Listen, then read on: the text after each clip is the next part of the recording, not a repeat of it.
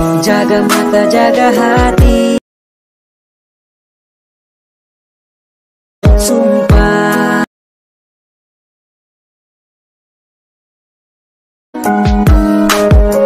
Satu sampai kau pulang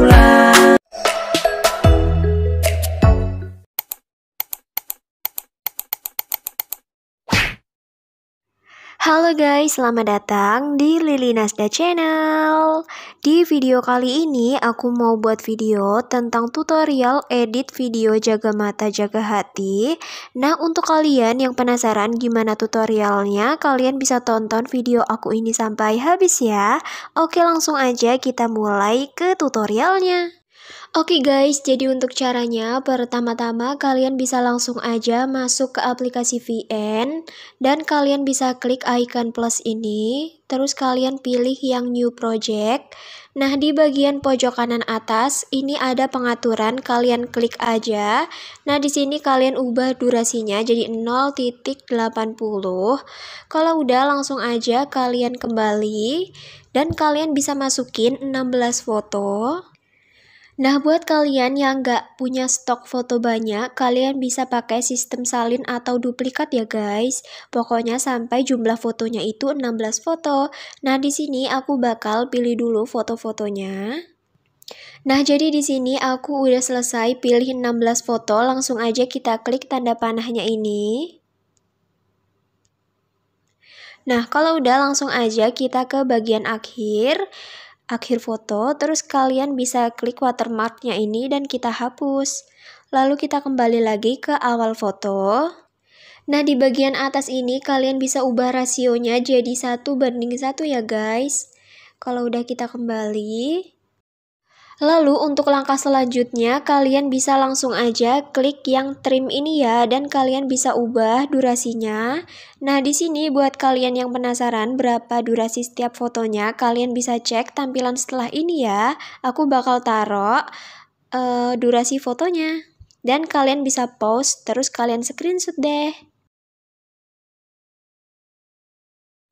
Nah, setelah berhasil mengatur durasinya, langsung aja kita kembali ke foto pertama. Dan di sini kalian bisa tambahkan transisi, tinggal klik aja icon tambah ini, lalu kalian geser dan pilih transisi zoom out. Kemudian kalian pilih apply to all.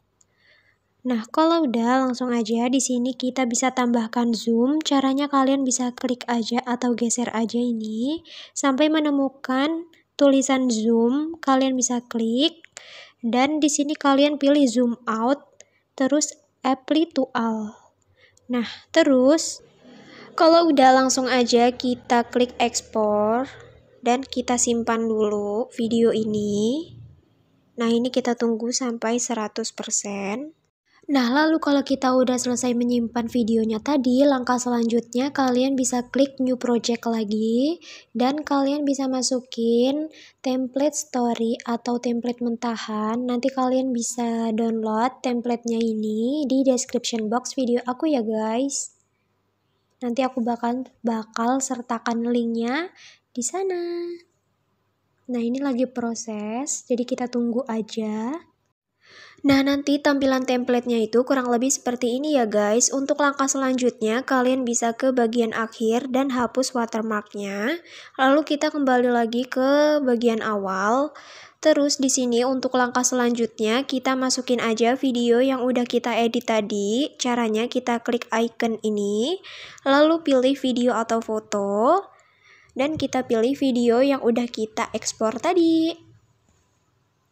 Kalau udah langsung aja di sini kita pasin fotonya dengan garis kotaknya ini supaya menutupi kotak coklat. Nah, kalau udah langsung aja kurang lebih seperti ini guys. Tinggal kita tambahkan musik atau lagu. Caranya kita klik aja icon ini, terus pilih musik, dan kita klik yang jaga mata jaga hati ini ya, lalu pilih choose. Nah, buat kalian yang mau musiknya, nanti aku bakal taruh linknya di description box video aku. Langsung aja kita klik checklist. Nah, kurang lebih seperti ini ya guys. Di sini aku kecilin sedikit. Jaga mata, jaga hati.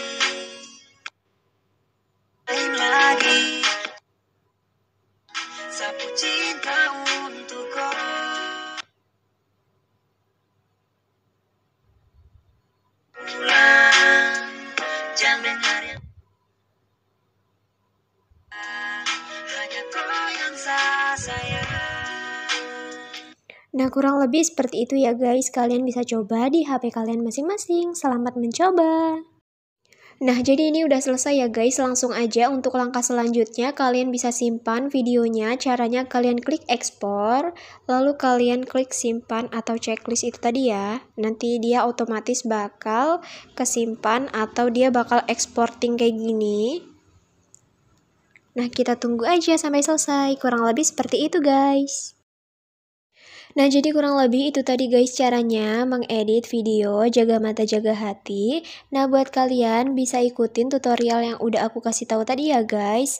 Oke guys, sekian video dari aku. Kalau kalian suka jangan lupa untuk klik like, komen dan juga subscribe channel YouTube aku supaya channel aku semakin berkembang dan maju.